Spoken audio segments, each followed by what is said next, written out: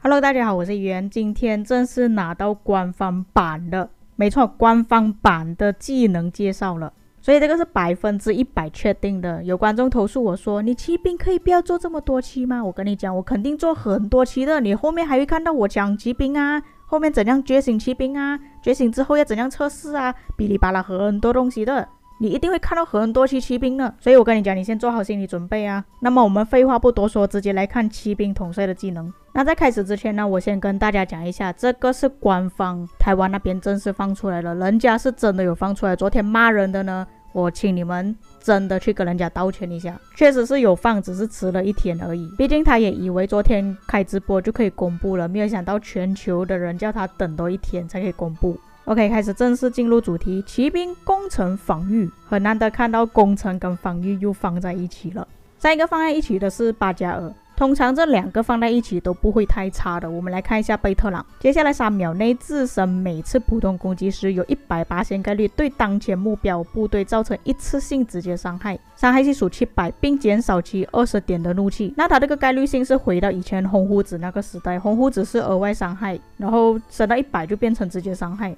跟现在的情况是差不多，只不过这个是直接伤害而已。但是你们看清楚这个伤害啊，是造成一次性直接伤害，一次性，而不是讲接下来三秒内都是持续七百。但是怒气那边我不确定是不是持续三秒，就二十点二十点这样子减的话，就减六十点。我觉得这个部分还是要等实际实测之后才知道到底是怎样。因为有时候文本啊，你真的是看到是这样子东西，用出来东西是另外一样东西。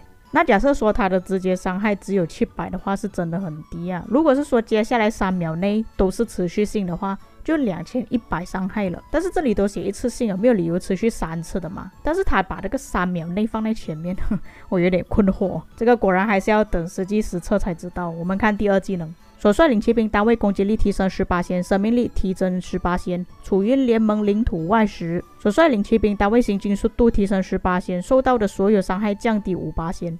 它这里实施实施都是在合理范围之内。但是这边呢，我看到一些东西，你看到最后一句吗？受到的所有伤害降低五八仙，但是它下面是写受到的伤害降低五八仙。所以到底是有所有还是没有所有？我怕上面是写所有伤害，但是报告出来是没有写所有伤害的。到时候又是我们熟悉的文本游戏了，这个也是要检查报告啊。我感觉这个统帅有很多报告要检查。不过让我意外的是，他有星君速度加成，他这么胖还有星君速度加成啊。不过比起身材来讲的话，那铁木真是最胖的，他还不算是最胖的。第三技能进攻城市及据点，所率领部队造成所有伤害提升十八仙，在战斗每十秒会获得一层骑兵伤害提升一八仙的效果，持续十五秒，该效果最多叠加五层。其实它这个层数要触发其实不难了，它的 CD 回合也不会影响到。你们可以看到持续时间四十五秒，但是它获得的方向是十秒里面会获得一次，也就是说肯定是可以叠到五层上去的，只不过它这里最多叠到五层，也就是五八仙而已。那当然的，叠到满之后，也就是五八仙，过了十五秒就会消失，再重新叠过。并且它这个技能的名字叫飞边战术，也就是我之前聊过它资料里面的内容。那确实这个技能里面写到的内容是有符合到的啦。不过如果你是拿来打野战的话，这个技能就没有用到了。我们来看下一个技能：所率领骑兵单位防御力提升二十八仙，受到攻击时有十八仙的概率使所率领部队获得治疗效果，治疗系数两百五十，持续三秒。该效果每五秒最多触发一次。这里的治疗效果是持续三秒的，也就是七百五十点。十八仙概率十个回合一次，然后每五秒最多触发一次。嗯，可以说它这个治疗是类似像五天那样子啦。治疗其实不会帮助到很大的效果，不过有治疗比起没有治疗来的更好吧。最主要还是拿前面的防御力提升二十八仙而已。不过假设说你是一直持续在做集结的话，其实它的治疗效果还是有用到的。觉醒技能所率领部队受到技能伤害降低五八仙，受到技能伤害时。将会对施加此次技能伤害的目标部队造成一次性直接伤害，伤害系数四百。该效果每五秒最多触发一次。哇，他这个觉醒技能是搞针对咯，他不是说你打我就算了。如果是另外一个人，他对我释放技能伤害的话，我是针对他，在降低自己受到的技能伤害同时，又可以针对那个对你释放的人。我觉得这个技能还不错啦，可以接受。那接下来我们看第二个统帅，很遗憾的他没有防御或者是住房，我以为他有住房技能。他是骑兵通用技能。不过在录影片之前，我偷偷看了他的技能，我看到他的技能确实还不错啦，跟我们看到那个假的是真的天差地别。第一技能对当前目标造成一次性直接伤害，伤害系数两千三，并使其在接下来三秒内防御力降低。当前目标受到夹击数乘十五八仙，计算这次的防御力降低时，加击数上限为三，就是说超过三个人的话，它就不算了。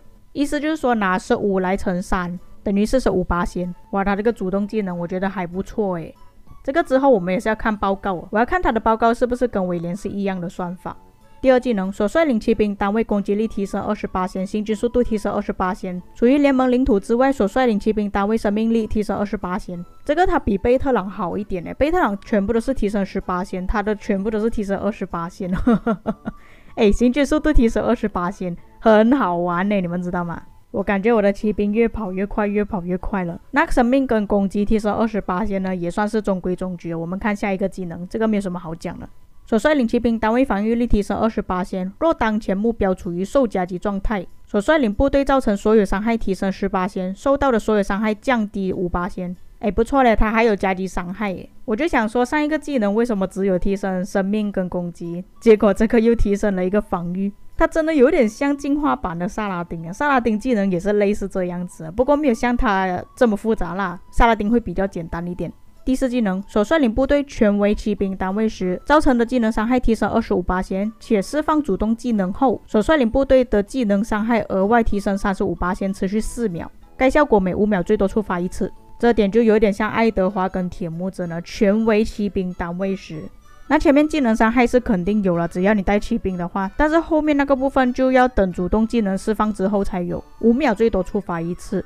哎，假设说如果你的技能放得很快的话，其实它触发也是变得更快。我觉得这个部分可以搞一搞啊。如果搞好的话，可能它的伤害是真的飞天了。最后是觉醒技能增加了一个新的技能，所率领部队普攻伤害提升五八仙，受到攻击时有十八仙的概率使所率领骑兵单位生命值提升三十八仙，持续三秒。该效果每五秒最多触发一次，受到攻击还会增加生命值。唉，难道骑兵的春天终于要来了吗？我一直在被挨打。终于，终于又把我提升了。那以上就是他们的技能，官方也是有讲过获得的管道。贝特朗是 MGE，亚历山大是轮盘。那以他们的技能来看，贝特朗确实是应该会在 MGE 的可能性比较大一点，毕竟他是机械统帅嘛。至于我觉醒的话，我会先觉醒亚历山大的可能性会比较大一点，因为我现在的镜头只能觉醒一只统帅而已，我没有镜头了，都是那个本多忠胜害的，他妈的！没有啦，其实本多中胜我只是丢几百颗头下去而已。毕竟我这边 M G 一的话也可以慢慢拿啦。如果是说我不急着用贝特朗的话，对于看法来讲呢，还是之前那个看法了。我比较看好亚历山大。至于你们呢，有什么看法，可以在评论区给我知道。但是今天讲的东西也只是纸上谈兵而已，毕竟我们还没有实测，不知道他们实际情况是怎样的。你们也不想看到像本多中胜这样子，一开始对他的期望很高，结果出来的效果就平民玩家玩不起那样子。那以上就是本期内容，感谢官方提早公布，让我不用这边挖情报，那边挖情报，挖情报也是很累人的，你们知道吗？我们下个影片再见。